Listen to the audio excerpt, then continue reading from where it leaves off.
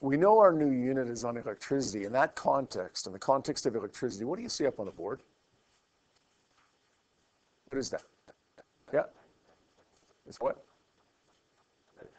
Yeah, well, kind of. It's, it's, it's, it's what we often visualize the atom is. It's not really our current model of the atom, actually. If you've taken chemistry, you know that we have what's called the electron cloud model of the atom, the quantum mechanical model of the atom, which is, um, which is, which doesn't look like this exactly, but we often represent it this way because it's a little bit easier to see. In the end, if we represent it this way, we can see clearly that we have something that orbits around the atom. What is that something right here that orbits around the atom?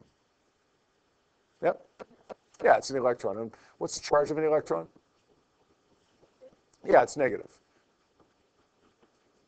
What is it that's in the middle of the atom here? This is kind of drawn out of proportion. We know for about 100 years almost that um, this thing that's in the middle of the atom is really, really, really small compared to the rest of the atom. Most of the atom ends up being empty space. We've drawn it a little bit bigger than we probably we should have, but need to be able to see it. What is that thing called? This small, heavy thing in the middle of this atom.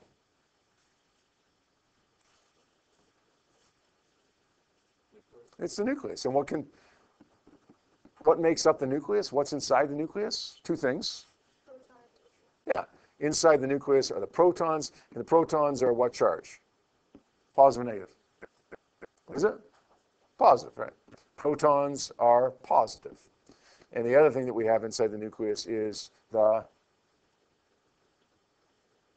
the other thing that we have inside the nucleus is the neutron, and the charge of a neutron is, yeah, it's neutral.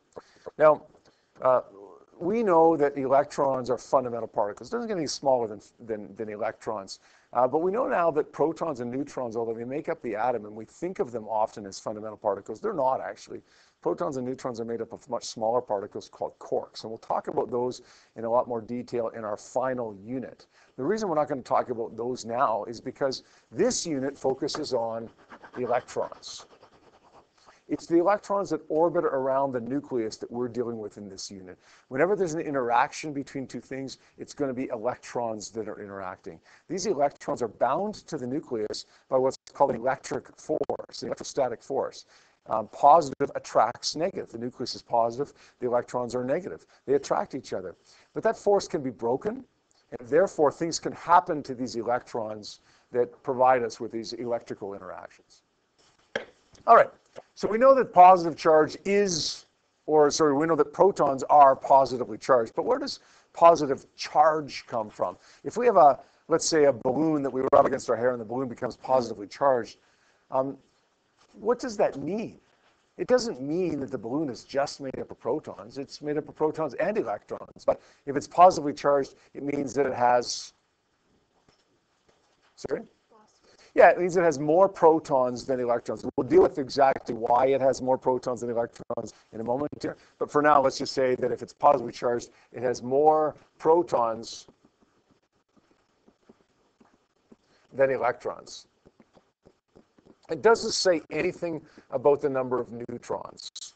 In fact, we won't even touch a neutron for the rest of this unit. Back or when we go to our final unit of atomic physics, the nature of matter, we call it, uh, we study neutrons a fair little bit. They become really important because we're studying interactions within the nucleus. But for electricity, it's, it's not relevant. Okay, the neutron doesn't really matter. Usually there's going to be a few more protons, sorry, neutrons than protons, but it doesn't really matter for our purposes here. What about negative charge? Again, we're not talking about um, just electrons everything has protons and almost everything at least has protons and electrons. But if it's negatively charged, then, yep. If it's negatively charged, then it has, yep. Yeah, it has more electrons than protons. Or you could say that it has less protons than electrons.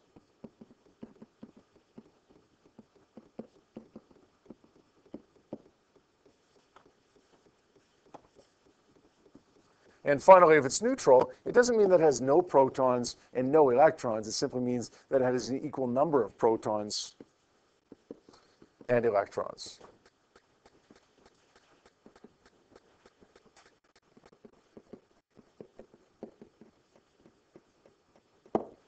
We're going to learn in a few minutes how you make something positively charged, right? We know it's positive if it has more protons than electrons. Well, how do you make it have more protons than electrons? It's negative if it has more electrons than protons. Well, how do you make it have more electrons than protons? Again, we'll deal with that in just a few moments here. So how do we describe charge? Well, the unit of charge is called the coulomb, named after a guy named Charles Augustine de Coulomb. Just like the unit for speed is meters per second, or the unit for energy is joules, the unit for charge is a coulomb. The symbol for speed is V. The symbol for energy is E. The symbol for charge is a lowercase q. So we would say the number, the amount of charge is Q is equal to blank coulombs. Now, we don't have a, an intuitive notion as to how much a coulomb is, whereas we do have an intuitive notion as to how much a kilometer per hour or meters per second for speed is, right? If I said a car is going down the road at 75 kilometers per hour, you would, you would at some level be able to picture that car traveling down the road and know how fast it was going, you know how fast to picture it, right? If I said um, somebody was running at 10 meters per second. You might not have a perfect notion as to how fast that person is running, but you would have some kind of idea. Is it reasonable that a person is running at 10 meters per second? But a coulomb, it's completely outside, for most of us at least, outside of our realm of experience. So we have no notion as to how big a coulomb really is, unlike a meter per second or a kilometer per hour. How big is a coulomb? Well, it's really big. It's really big. One electron has a charge of negative 1.6 times 10 to the minus 19 coulombs, which means it would take approximately this many electrons to make up one coulomb of charge.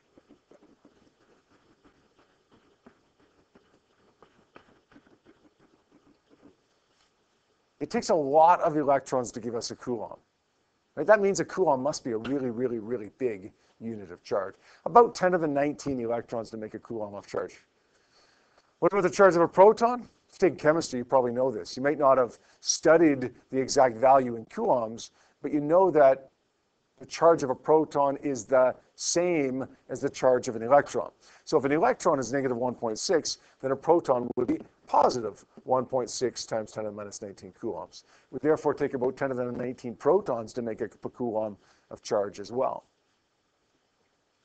This is such a big unit of charge that we often don't see it listed as a coulomb. Rather, we often see NC or a nanocoulomb. That's 10 to the minus 9 coulombs. We often see it written as a mu c, a microcoulomb, which is 10 to the minus 6 coulombs. We still have to remember to convert it to our standard units, which is the coulomb, but we often see it written as microcoulombs or nanocoulombs, just because a coulomb is such a big unit of charge. I get to pull out your data sheet for a second and take a look at it. Mark it up. Where do you see the charge of, a, of an electron and a proton on this data sheet? Where do we see it? If you take a look at the right-hand side of the page, it lists all these different particles, alpha particles, electrons, protons, neutrons, and then these things that they call first-generation fermions that we'll talk about in our final unit. Focus on these four up here right now, the alpha particle, the electron, the proton, the neutron. Right beside that, they list the charge and the mass of each of these things. The mass is given to us in kilograms in standard units already, but the charge isn't. The charge of an electron, it says, is negative 1e. The charge of a proton is positive 1e. What does that mean? What does that mean? Well, if you look on the left-hand side of our data sheet, we see the elementary charge. We'll talk about the elementary charge in our final unit as well and where that comes from. But the bottom line is an elementary charge, E, is 1.6 times 10 to the minus 19 coulombs. Therefore, an electron has a charge of negative 1 times the elementary charge or negative 1.6 times 10 to the minus 19 coulombs. A proton would be positive 1 times the elementary charge or positive 1.6 times 10 to the minus 19 coulombs. An alpha particle, as much as we don't even know what an alpha particle is yet, an alpha particle would be 2 times the elementary charge, or 3.2 times 10 to the minus 19. Realistically, by the end of the year, you're probably going to remember the charge of an electron because we're going to use it so often. But if you don't, you know where to find it. Just remember that it's kind of a two-stepper to find it. Right, look on the right-hand side, minus 1e, and then we know that that's minus 1 of the elementary charge that appears on the left-hand side. You got it? All right, sometimes we see uh, ions. You guys know what an ion is? These are ions. Do you know what an ion is? In chemistry, you know what an ion is, right? If you don't take chemistry, even if you've just taken Science 10, which all of you have, you might remember what an ion is. Tell me what an ion is. It's not an atom, but it's close. Yeah, it's, it's charged. It's, we'll call it a charged atom. It's an atom that's gained electrons or lost electrons, leaving it with a net charge. This is aluminum, an aluminum ion. It has a charge of 3 plus. If we ever see this notation in the context of an ion or anything else, we know that the, the 3 plus means that it has a charge of 3 times the elementary charge, or we would say 4.8 times 10 to the minus 19 coulombs. This would be positive because it's 3 plus. This, on the other hand, O2 minus, the charge would be uh, negative 2 times 1.6 times 10 to the minus 19 coulombs, which gives us negative 3.2 times 10 to the minus 19 coulombs. And finally, if we see Na plus, I don't even see a number there. What does that mean? If it just says plus, you have to assume plus 1. Yeah, plus 1. So we would just say that this one would be the elementary charge, or positive 1.60 times 10 to the minus 19 coulombs. We don't see that a ton, this notation, a ton in this unit. It does, we don't even see it a ton really throughout the year, but it does arise uh, a little bit later on. This is a good time to tell you what it is because you now know what an elementary charge is. Let's have a quick little look at one example. It's going to go pretty quickly for us. Just um, quantifies the charge of an electron for us. This one says a balloon is rubbed against air and it gains a charge of negative 9.6 times 10 to the minus 19 coulombs. Don't worry about how it gains that charge right now. Just trust me that it gains this charge. It was neutral, now it's not. How did it gain it? We'll learn that. Uh, we'll learn that mostly tomorrow. We want to know in this question, though, how many electrons the balloon has gained or lost. Tell me right now, before we do any calculation to determine a number of the electrons, tell me whether it's electrons that have been gained or lost. How do you know? Yeah, it's become negative. So it must have more electrons than protons. Therefore, it must have gained electrons. If it lost electrons, it would have more protons than electrons. How many is it? How do we determine the number of electrons here? Let me give you an analogy here. If you go to Safeway and you buy a bag, a bag of oranges, they're in a paper bag, so you can't tell how many, how many oranges are in the bag. But you weigh one orange, and each orange weighs 200 grams. You weigh the bag of oranges, and it weighs 1.2 kilograms or 1,200 grams. How many oranges do you have in the bag? Each orange weighs 200 grams. The total bag of oranges weighs 1,200 grams. How many oranges in the bag? Yeah, how'd you figure that out? How'd you figure that out? It, it's not it's not a trick question, okay? How do you figure out how many oranges in the bag when we have a mass of 1,200 grams and a mass of one orange of 200 grams? Yeah? Yeah, we divide it. We divide the total mass by the mass of one orange. Whenever you want to find a number of something in physics 30, the number of oranges, or the number of electrons, or the number of photons, whatever the heck a photon is, we'll learn about that later on, you're going to divide the total of something by the amount for one. In this case, when you're trying to find the number of electrons, you're going to divide the total charge by the charge for one electron. And the total charge that's given to us here is negative 9.6 times 10 to the minus 9 coulombs. The charge of one electron, check back to your data sheet if you don't remember, is negative 1.6 times 10 to the minus 19 coulombs. When we divide those two numbers, let's see what we end up getting here. Uh, negative 9.6 times 10 to the minus 9 divided by negative 1.6 times 10 to the minus 19 gives us 6 times 10 to the 10.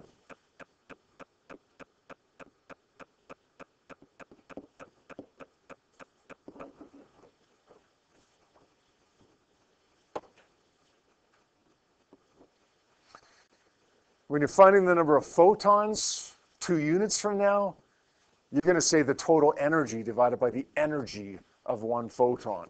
The number of oranges, the total mass divided by the mass of one orange. It's always going to be, though, when you're looking for a number of something, the total something divided by the amount for one. I've put that note on the back wall there. You can see on my always list back here. You see F versus F and T, impulse. F versus T graph, area equals impulse. Always think that, right? When we see a collision or an explosion, we always do conservation of momentum. When we want to find a number of something, we want to divide, you can see here, it says AT divided by A1 anything total divided by anything 1. Mass total divided by mass of 1. Charge total divided by charge of 1. Energy total divided by energy of 1. Whatever you have, okay, take the total amount and divide it by the amount for 1. Right? It makes sense? And of course, we know that this were, these were electrons gained because it was a negative charge here rather than a positive charge. All right, back to our back to our picture of the atom for a second here. This middle thing was the nucleus again, and that consisted of protons, which are positive, and neutrons, which are neutral. These things orbiting around the nucleus, it's not quite as clear as we have it drawn here. They orbit around in clouds, okay, these mysterious clouds as, as waves. But we have to draw it somehow so that we can see these electrons. So we draw it this way. These electrons that orbit around, if something's going to move, like if something's going to move, if we're going to have an interaction, and this is really what we're talking about in this unit, is, is the interaction between things here. It's going to be the electrons. Can anybody suggest to me why it's going to be the electrons? Why, when, why, when this balloon was rubbed against the hair, was it the electrons that were transferred rather than the protons or the neutrons that were transferred. Yeah?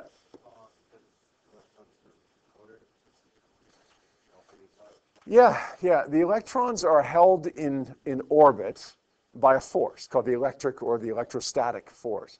And that's an attractive force. You guys know that positive attracts negative, right?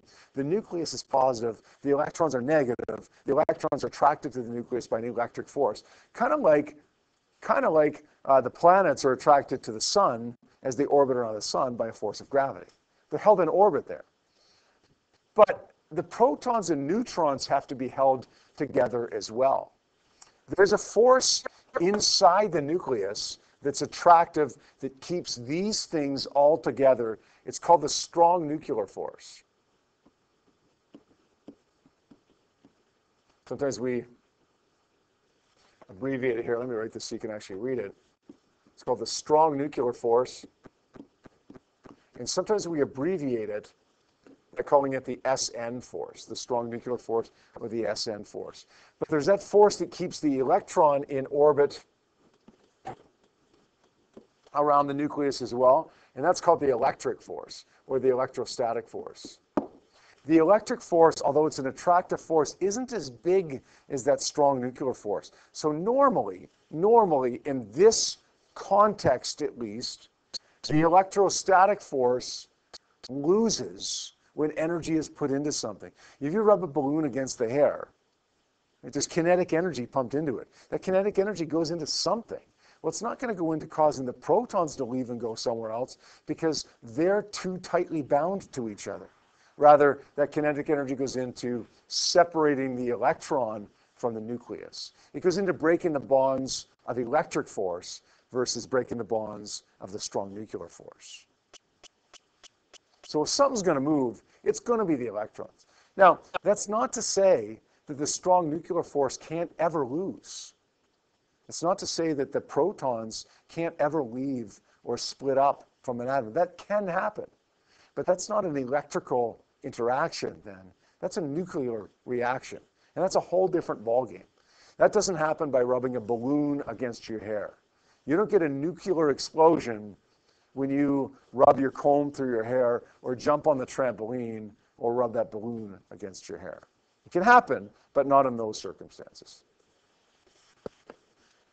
Let's define a couple of uh, a couple of terms here that relate to the movement of electrons. Now, the first one is a conductor. The second one is an insulator. You've heard these terms before, right? A conductor is I don't like that color. Let's change it to, let's change it to yellow. That's better. What's a conductor? In the context of electricity, right? You've learned about conducting, conduction in the context of heat, but you've also learned about in the context of electricity. What's a conductor? Think back to grade nine. Uh, transfers energy, kind of. Yeah, you're not wrong. You're not necessarily thinking of it the right way, but in the end, energy is transferred, yes. Yes, a metal is a good example of a conductor, actually. Let's not use the word energy in there, though, okay? Let's say it's something that transfers electrons, and electrons carry energy with them. So by that uh, rationale, then they transfer energy as well. But let's, let's think of it as the transfer of electrons, a material in which electrons uh, can be transferred. Why can they be transferred? Because they're not as tightly bound to the nucleus a material in which the outermost regions of the atom are free to move. Now, what general category of materials has the outermost regions of the atom with electrons that are fairly free to move? You kind of said it earlier. What is it? Metals, yeah. Generally, we have metals that are conductors, generally. Versus insulators, plastic, wood, paper, insulate rubber. They're materials in which the electrons aren't as tightly bound to the nucleus and therefore are not as free to move around within the substance.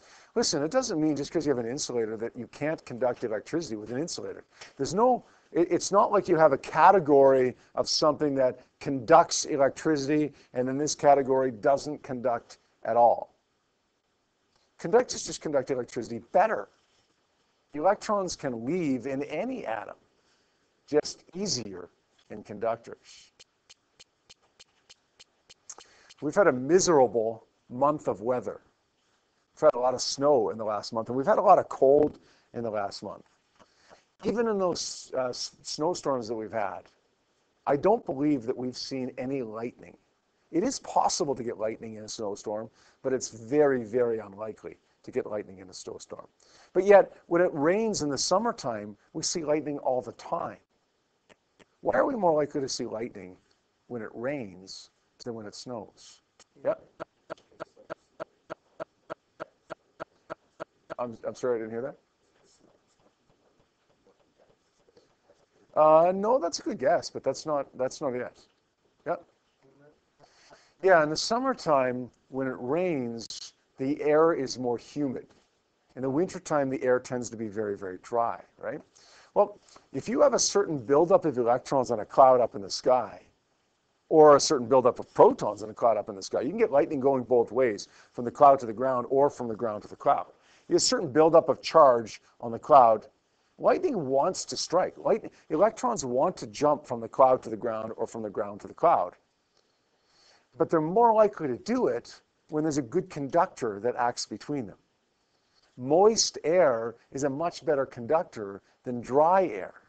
Therefore, it's more likely to strike, given the exact same cloud and the exact same ground, it's a lot more likely to strike when it's damp air because that air is a good conductor versus dry air because that's not a good conductor. It doesn't make it impossible. It just makes it harder when you have a good insulator than when you have a good conductor. Does that make sense? You could have you could have a wire that's wrapped in in insulating coating. Normally you can touch that wire. Well, if there's too much current going through that wire, you couldn't touch it, and it was too thin of insulation, you couldn't touch it because it would still transfer electrons through it. Not just as, just not as easily. That's all. Okay, don't copy this down. This is just a this is just a picture that uh, shows us a comparison of different materials and how well things conduct and how poorly things conduct. You can see the top group here are conductors. And this top group, relative to the bottom group, has a really high degree of conductivity. You can see silver has a conductivity of about 10 to the 8 relative to rubber, which has a conductivity of about 10 to the minus 15. In other words, silver is 10 to the 23 times better of a conductor than rubber is. But that doesn't mean rubber can't conduct. If you stand outside in a lightning storm with a golf club in your hand, You might get struck by lightning, despite the fact that the soles of your shoe are probably made of rubber. Electrons will transfer through that rubber. They'll transfer a lot better through the golf club than they will the rubber, but they'll still do it, right? So you can see that these top ones have conductivities that are all 10 to the positive something, and these bottom ones have conductivities that are 10 to the minus something. These are conductors, and these down here are insulators. They'll conduct, but just not nearly as well as the conductors will. And what do you notice about those conductors? They're metals, yeah. And what do you notice about the, the insulators? Wood, glass, rubber? They're not conductors, or sorry, they're not metals, right? Wood, glass, rubber, um, all all non-conductor, or sorry, all uh, non-metals. Okay. Three laws of electric charge, and then I think we might just wrap it up for the day in terms of new material. Three laws of electric charge that might take you back, that should take you back to Science 9, although you might not remember these. You'll recognize them. In no particular order, just the order that I thought of them when I was typing out these notes, we say that opposite charges are going to do what to each other? In other words, if you have positive and negative, they're going to do what? They're going to attract each other. It means they're going to be pulled together. Oftentimes, when people are opposites, they're attracted to one another. When charges are opposites, they're attracted to one another. A lot of times, when you have two people that are too similar, too much alike, they drive each other crazy and they're repelled by each other. Like charges repel each other, just like people that are too much alike repel each other as well.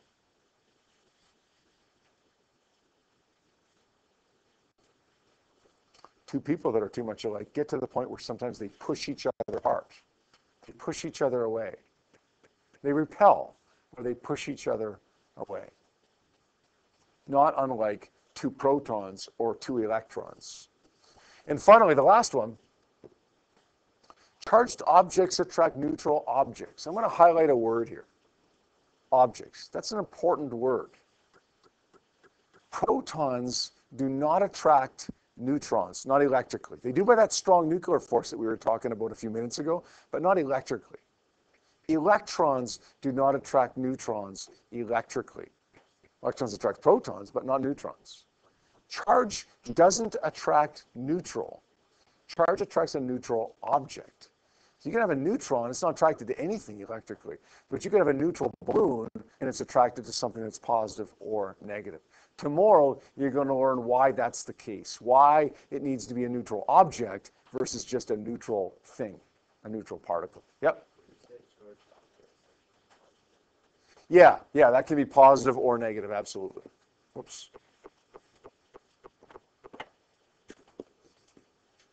But remember that positive or negative, and it could be something as, really, we don't need the object word in there. It could be something as simple as a proton or an electron. A, something that's charged will attract not something that's neutral. Something that's charged will attract something that's neutral if it's a neutral object. It has both protons and neutrons present in it. Sorry, protons and electrons present.